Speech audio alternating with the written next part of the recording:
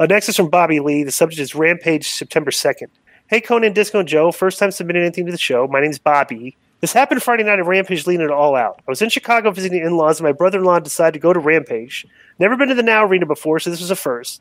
Anyway, we were looking for a bathroom, found signs for one and followed it. We walked right past security and through two different black sheets, past AEW staff, and no one stopped us. We found the bathroom, walked in, and Morrison, Morrissey was walking out and said, What's up, guys? And I said, What's up? Then I said, Morrissey? He said, Yeah. I said, Man, can I get a pic? He said, Yeah, bro, but not in the bathroom. Do your thing, and I'll meet you outside.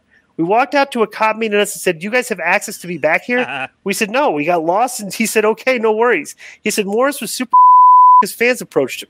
Literally said that. We said we didn't know we were trying to find a bathroom. He was super cool to our face, but then pulled a cop into it and went away. What are your thoughts on that? Why be cool than turn around and do something like that?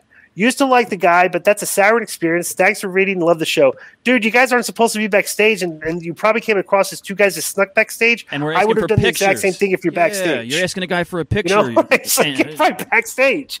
So I would say, hey, we need security. Get these guys up there. We can't just have the fans walking in here, back, you know, backstage and everything. So Don't ever like, yeah, go past a black curtain, let alone two of them. You know, you know you're not Right. supposed to be there.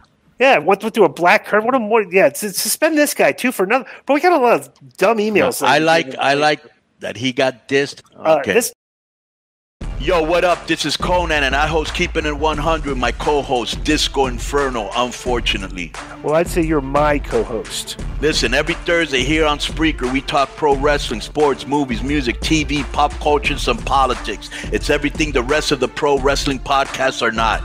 Tune in to hear myself, the superior one, educate and inform. Tune in to hear me bury Disco. That's very disrespectful. Join us every Thursday on Spreaker and keep it 100.